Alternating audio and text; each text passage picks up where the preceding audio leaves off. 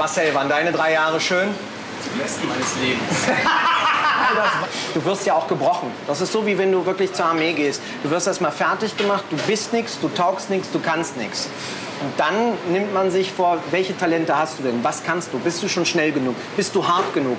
Und das Wichtigste in der Küche ist ja nicht, dass du der, der körperlichen Belastung standhältst, sondern der mentalen.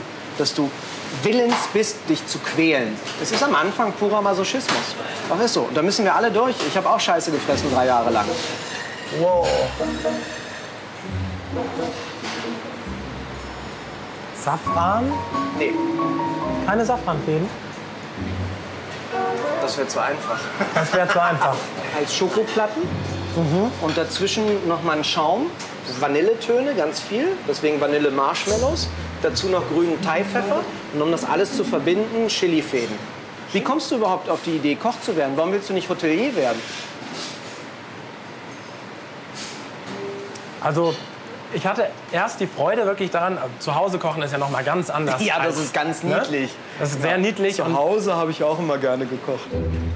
Die illustren Gäste, die regelmäßig bei Tim Raue speisen, schicken häufig ihre Kinder zu ihm zum Praktikum. Mit denen wird der Sternekoch spielend fertig. Das ist halt der Ansporn, weil wir die Leute hier nicht so behandeln, als wären sie Praktikanten, sondern in dem Moment, wo wir auch merken, dass da was dahinter steht, dann versuchen wir sie zu kitzeln. Ähm, Und wenn wir aber merken, dass sie keinen Bock haben, dass sie nur hier sind, um die Zeit abzusitzen, dann können wir sie so tyrannisieren, dass sie gehen. Und das geht in der Küche. Das ist so einfach, weil wenn du zugespitzt die Aggression und den Frust von acht Leuten auf einen lädst und das 16 Stunden am Tag, das ist Terror. dann, ähm, ja, es gibt ja hier in der freien Wirtschaft gibt es ja dann so Worte wie Mobbing oder so. Für mich ist das nur die natürliche Auslese. Man muss sich klar machen, dass das hier nicht jeder kann. Oder auch nicht jeder will. Boto jedenfalls ist ziemlich ernüchtert. Das ist Kirsten, meine Chefpatisseuse, die ihr eigenes Reich hier hat. Ja, die Art des Umgangs ist ähm, fragwürdig. Also die, wie sich der Küchenchef gegeben hat, fand ich persönlich jetzt nicht sehr sympathisch. Ich würde ihm halt auch sagen, Friseur eins weiter und ähm, dann erstmal Kochklamotten an und dann zeigen, ob die Leidenschaft, die er wirklich im Herzen hat, ähm, über die Hände dann auch den Weg auf den Teller finden. Das, was einfach, was ihm klar sein muss, ist, dass er in der Küche Jenny, das ist zu laut. Das ist zu laut.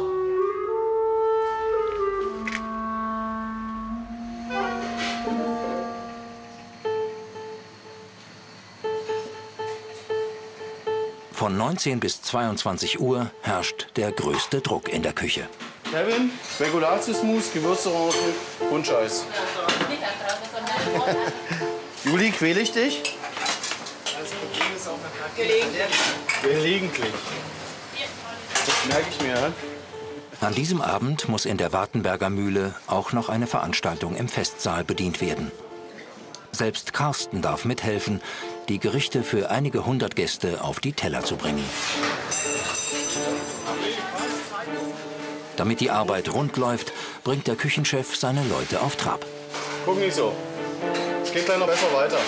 Kalbsrücken, Morchelsoße, Würsing Karottengemüse und Kartoffelküchle. Drei. Fließbandarbeit im Festsaal. Guckst du mal. Wenn wir haben, bringst du mit hoch.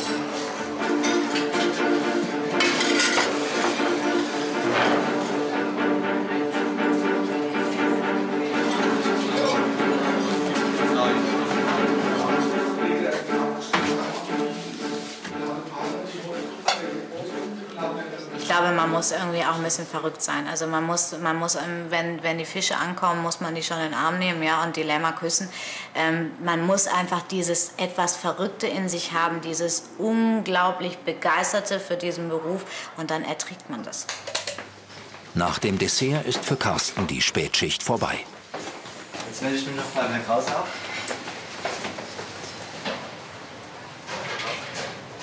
Ich melde mich dann ab. Und morgen ähm, Wie arbeite ich da? Mittwoch? Steht drauf, ne? Äh, der steht nur bis 12.30 Uhr. Genau, bis 12.30 Von- Uhr. Von 10 Uhr? Wieso 10 Uhr? Nee. Steht drauf. Bin nur bis 12.30 Uhr. Eh und bis 12.30 Uhr. E ist was? Frühstück? Kommst du um 8? Ja? Hast du noch?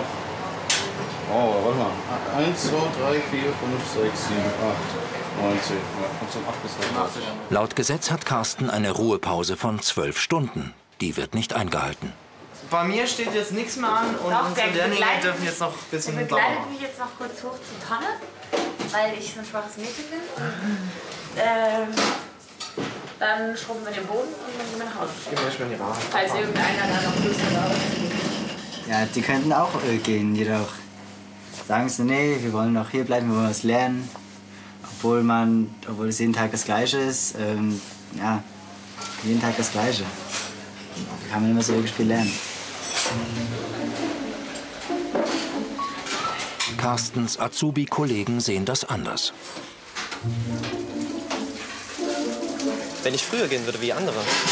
Äh, Also ich würde mich total, also ich könnte gar nicht so wirklich mit denen reden mehr, weil ich finde es scheiße, wenn ich jemanden da stehen lasse und ich weiß noch ganz genau, der steht jetzt noch eine Stunde da und putzt, auch noch meinen Arbeitsplatz, das könnte ich nicht machen. Während Carsten in den Feierabend fährt, dreht sich die Arbeitsmühle für die Kollegen weiter. Die Azubis putzen und schrubben bis kurz vor Mitternacht. Viele sind jetzt schon mehr als zwölf Stunden in der Küche.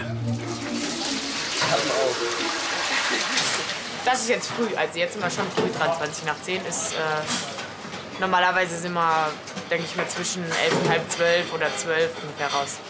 Ein bezahlter Ausgleich oder Freizeit für die mehr geleisteten Stunden ist nicht vorgesehen. Ich denke, es sind nicht immer 12, 13 Stunden. Das sind schon eher die Ausnahmefälle. Ähm, Und in diesen 12, 13 Stunden äh, gibt es auch dementsprechend äh, von Seiten des, der, des Geschäftes oder von mir, wenn das mal vorkommt, einen gewissen Ausgleich, indem dass man gewisse Incentives auch miteinander pflegt. Indem dass ein Chef auch mit seinen Auszubildenden vielleicht mal äh, nach Stockholm fliegt und die einfach mal in die Restaurantszene einer Weltstadt einführt. Das sind, das sind die Dinge, wo ich wieder sage, wir reden hier über Geben und Nehmen. Wir sind viele Azubis, wir sind billig, wir machen das, was, uns was gesagt wird und so ist es. Und ich habe es so gewollt. Und jetzt habe ich es auch drei Jahre durchgezogen. Ich bin stolz drauf, dass ich es gemacht habe. Und ich sage mir, ehe mir jetzt jemand anderes irgendwie was erzählen will von Arbeiten, dann soll er das erstmal machen. Bisher hatte Martin Scharf keine Probleme damit, seine Azubis so lange arbeiten zu lassen, wie er es für nötig hielt. Bis zur Anzeige von Carsten Eimann. Was ich dabei gelernt habe, dass ich unter 18 keinen Auszubildenden mehr einstelle. Und äh, wenn man noch so befreundet ist, So, Fabian, schön, dass Sie uns auch beehren. Können Sie gleich mit lassen? So, und das können wir jetzt mal. Ulrich Trapp freut sich jedes Mal auf die Berufsschule. Doch der Wochenanfang hat seine eigenen Gesetze. Äh, Wenn ich Montag hier in die Schule komme, dann sehe ich lauter müde Gesichter, weil jeder arbeitet am Sonntag, jeder arbeitet am Wochenende. Wenn Mitschüler desinteressiert sind oder null Bock haben, nervt ihn das. Schule ist mein Ein und Alles.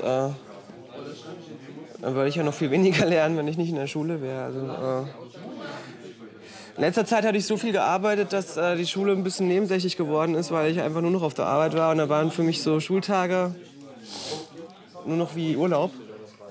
Aber generell ist es so, äh, hier lerne ich was.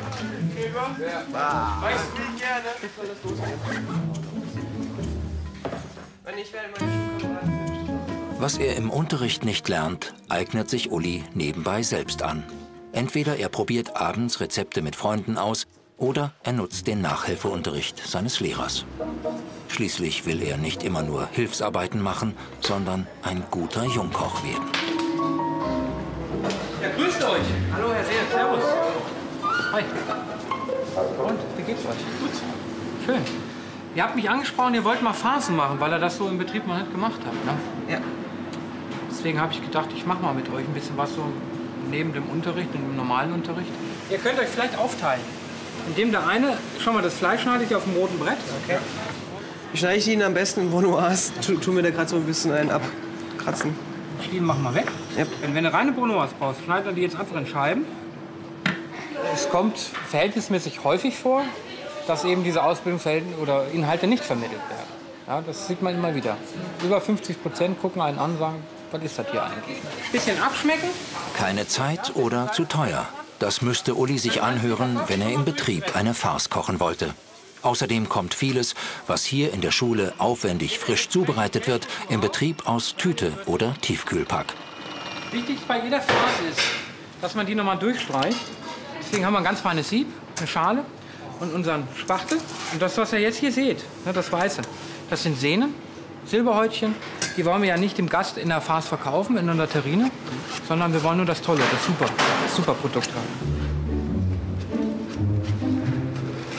Und hier haben wir die gefrorenen Kräuter drin. Die kannst du richtig schön unterarbeiten. Machen wir vielleicht noch ein bisschen was dabei.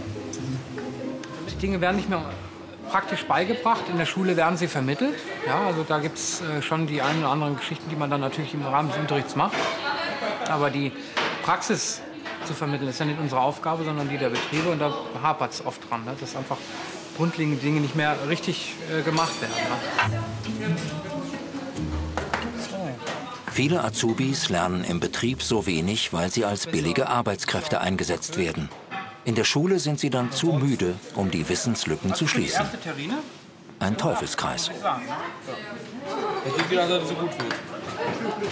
Man muss einfach auch wissen, dass man sich nicht ausbeuten lassen darf. Man muss einfach, wenn man den Beruf sich dafür entscheidet, mehrere Betriebe anschauen, gucken gehen, wer ist mir sympathisch, was kochen die da, wie viel muss ich dafür machen, wie ist der Chef zu mir. Und nach dem Praktikum kann man sich doch eigentlich dann entscheiden, wo man hingeht. Also ich glaube einfach, Auge sei wachsam. Einen Monat später. Carsten Eimann ein letztes Mal in der Wartenberger Mühle. Ja, servus, der Carsten. Ja, wollen wir mal letztes Sachen holen. Die sind schon lange weg. Ja? Wo ist gerade geknackt bei Ebay beim Stein. Nachdem er ein Jahr auf ein Verfahren gegen seinen Arbeitgeber gewartet hat, gibt er auf. Die Staatsanwaltschaft ermittelt immer noch. Wie der Fall letztlich ausgegangen ist, ist vielleicht aus Sicht des Jugendlichen sehr, sehr bedauerlich. Ja, er war engagiert und wohl eine gediegene Ausbildung. Aber wenn der Jugendliche jetzt die Firma verlassen hat, dann ist das eine Konsequenz, die für ihn schlimm ist und bedauerlich ist, die aber nun äh, nicht äh, zu strafrechtlichen Konsequenzen für den Unternehmer führen kann. Ja, wo gehst du hin? Was machst du jetzt? Äh, nach Frankfurt, im Marriott Hotel. Marriott? Ja.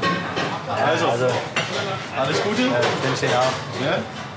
Ciao. Und lass dich mal wieder sehen. Ja, bestimmt. Okay, alles gut. Ja, bestimmt. Eigentlich äh, ist es mir das erste Mal passiert. Aber bei diesem Lehrling, bin ich ganz ehrlich, ist es auch nicht schade drum.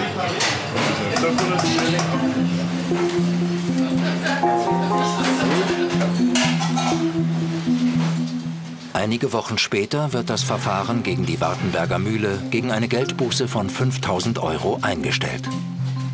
Nach Ansicht der Richter waren die langen Arbeitszeiten von Carsten ein absoluter Einzelfall. Der Grund? Die Staatsanwaltschaft hat niemand gefunden, der sich traute, Carstens Aussagen zu bestätigen. Ach,